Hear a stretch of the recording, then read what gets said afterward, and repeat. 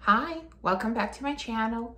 Thank you for watching and for subscribing. And if you're just visiting, please consider subscribing.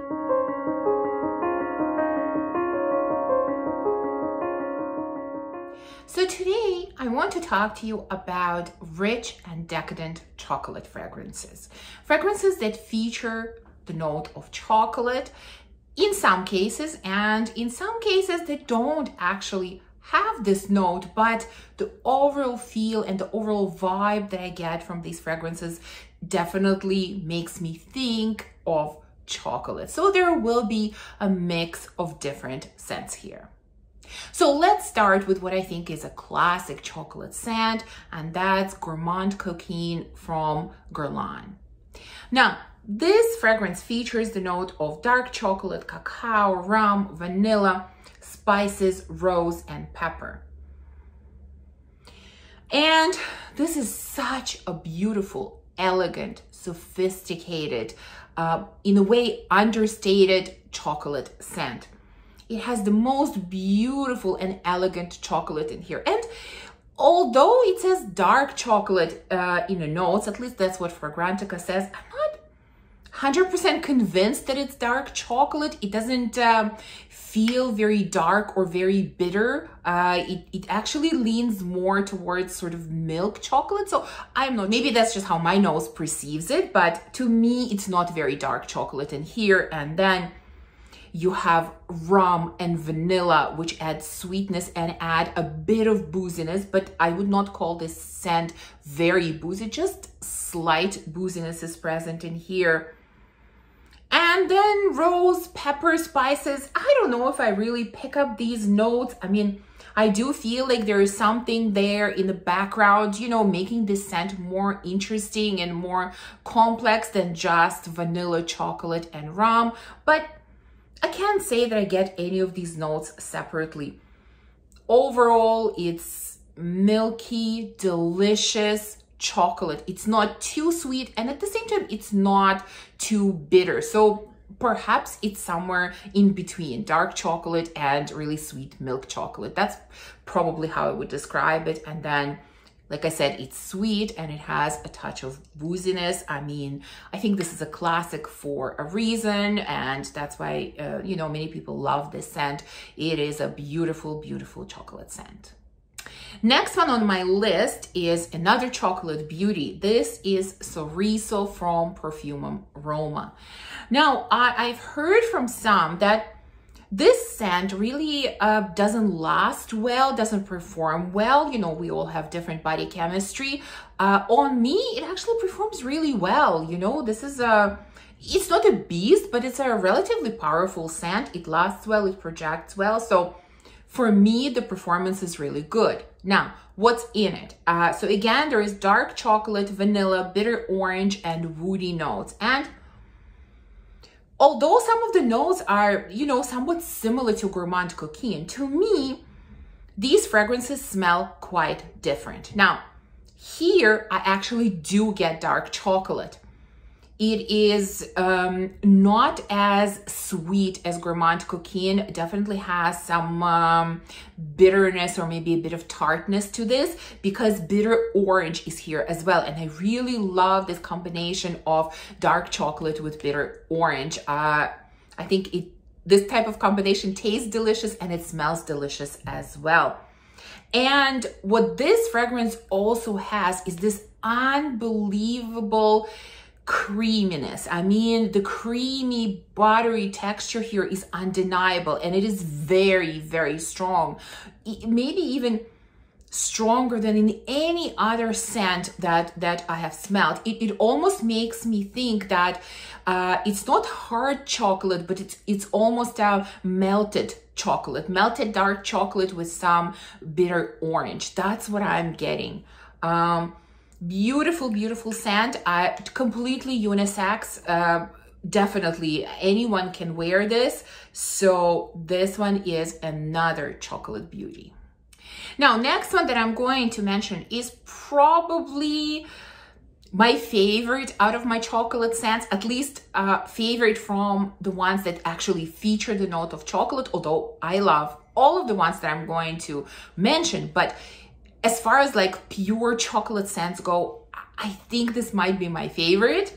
And this is Wicked Good from Gallagher Fragrances. Now, this one has three notes, at least that's what's listed. There is milk chocolate, tonka, and vanilla. And when I first sprayed this fragrance, I get a burst of this milk chocolate. It is so powerful. It is so delicious. It is sweet, but it's not, it's not overpowering.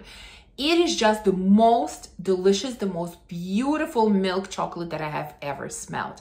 Now, I mentioned this before. I do wish that this strong chocolate vibe would last longer. Unfortunately, it doesn't. It starts sort of going to the background relatively quickly. And then um, tonka and vanilla come into play as well. And everything kind of mixes together.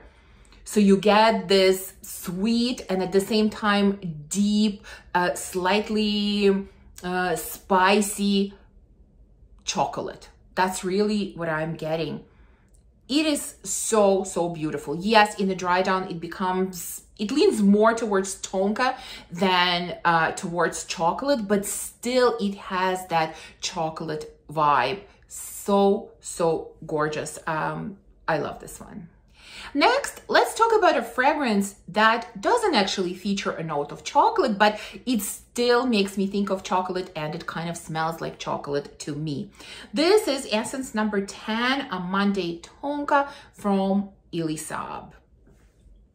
I know this is a discontinued scent, not easy to find, but um, you know, if you ever see this available, I suggest grab it. It is such a stunner. It is, you know, somewhat gourmand, but not overly gourmand. It's not overly sweet. So even those that don't like very sweet gourmand scents, I think would enjoy this one. So the notes in here are uh, tonka, bitter almond, amyris, and sandalwood. And I think it's the tonka that, that makes me think of chocolate. I mean, this fragrance for me definitely has this uh, bakery chocolatey kind of vibe. Like almost maybe it's some kind of, um, I don't know, croissant or some other baked good sort of covered with chocolate. That's kind of what I feel like I'm getting here. Uh, tonka and bitter almond i think i'm mixing together and just giving it a, a, a slight nutty uh, flavor as well. And then sandalwood just makes everything very smooth and creamy. It is dark it is seductive it is deep it is nutty, it is slightly chocolatey, and it is very smooth at the end. So this is beautiful. I think um, this was created by Francis Kurkdjian. Uh, I think this whole uh, essence line was created by uh, Francis Kurkdjian if I remember correctly. But um, this is really, really gorgeous. Again, if you ever see this, my suggestion, grab it. Next, I have a fragrance from a house that I don't know how to pronounce correctly. So let me give it a shot. It's either Chabot, Chabad, no idea, forgive my pronunciation, and it's called Lait et Chocolat. I probably butchered all of those names. Um, anyways, I have a sample of this one, so uh, I wanted to mention this one as well because this is pure chocolate scent. Uh, this is very, very gourmand. This is very, very sweet. And this is very, very chocolatey. I mean, if you're looking for pure chocolate goodness without sort of um, interferences from anything else, this is really the one to go for. I mean, there are other notes to chocolate in here. There is uh, jasmine, there is teak wood, cedar, there is milk, vanilla, musk, well, yes, maybe all those notes are here, probably. But really, when I smell this, I get chocolate. That's really what I'm getting. Uh, it says here that it's a dark chocolate. Um, I don't know, maybe. Again, to me, this is somewhere in between very dark and uh, milk chocolate, kind of in the middle but all I'm getting is chocolate, very, very strong chocolate. Now, the reason I don't have a full bottle of this is because for me, this is a little bit too chocolatey. You know, I want uh, my chocolate scents to have some other nuances to it, some be just a little bit more complex than pure chocolate. And this one, like I said, just smells like pure chocolate. So even though I enjoy it, but you know, for now, having a sample is more than enough for me. But again, if you're looking for this pure chocolate scent, this is a great one. Next, I have another one of my favorites, a fragrance that really, really surprised me when I first got it. This is Tabac Rose from uh, BDK Parfums. And, you know, judging by the name, when I purchased this, I sort of was expecting to get a fragrance that was mostly surrounded about tobacco and rose, but I was surprised to find out that chocolate plays a really, really strong part in this composition. So the notes that are included in here are plum, there is a lemon, there is pepper, there's chocolate, rose, tobacco, of course, patchouli, and labdanum. And this is such a complex fragrance. This is such a gorgeous fragrance. I've mentioned before that this is almost, to me, is like two in one type of fragrance. What I get in the opening is very different than what I get in a dry down. I'm getting uh, plums with patchouli and with a little bit of tobacco in the opening. That's mostly what I get. And when it starts drying down, warming on the skin, it changes drastically for me. The rose is coming forward and chocolate is coming forward as well. Uh, tobacco and patchouli are still there, but uh, very much in the background. Mostly at the forefront, I'm getting rose and chocolate. And it's like it's a chocolate covered rose. And, you know, I love both of these notes. I love rose and I really enjoy the note of chocolate. So this is absolutely gorgeous, very complex, very interesting scent, at least to my nose. And, uh, you know, I know some people, again, I, I've heard that they complain about the performance of BDK fragrances, you know, typically fragrances don't last well on me, but I've had good luck with all of the BDK uh, perfumes that I have. They all last very decently on me. They perform pretty well. None of them are beasts, but at the same time, they perform really well. So Tobacco Rose is a real, real gem. Of course, I couldn't do this video without mentioning Fea Fève Delicieuses from uh, Maison Dior.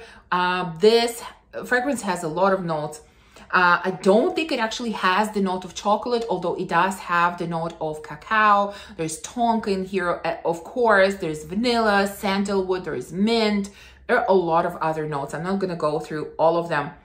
And I think it's the mix of tonka and cacao that again is giving me this chocolate vibe. Now, the chocolate in here is definitely not as prominent as in majority of the other fragrances that I mentioned already. But at the same time, if you're just looking kind of for kind of this uh, subdued, just a hint, just a reminder of chocolate mixed together with, you know, this beautiful tonka and with beautiful aromatic touches that this has, then this is the scent for you. Again, this is gorgeous. This is beautiful. And I even don't mind the um, sort of minty aromatic touches that I'm getting in the opening because the dry down of this fragrance is to die for. Another fragrance that I absolutely had to mention in this lineup is Black Phantom from Kilian. You know that this is one of my favorites. It has been ever since I purchased it. This is a sort of hate it or love it type of fragrance. I get it. For me, it's a definite, definite love. Uh, this one has dark chocolate. It has rum. It has caramel. There's coffee, almonds, sandalwood, sugarcane, heliotrope. I mean, you can see from the notes how deep and how thick this fragrance must be. And it is like that to me. It is definitely very thick. It is very powerful.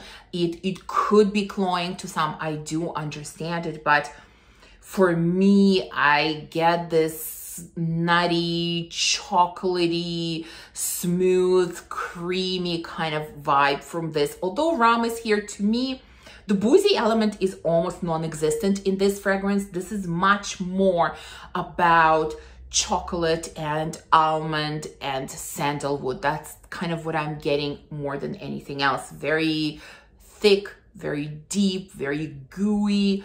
This is gorgeous, gorgeous scent. Absolutely unisex. Both me and my husband enjoy this one and it's definitely one of our favorites from everything that I have. And the last one that I want to mention here is another scent that doesn't feature the note of uh, chocolate, but it does give me chocolatey vibe.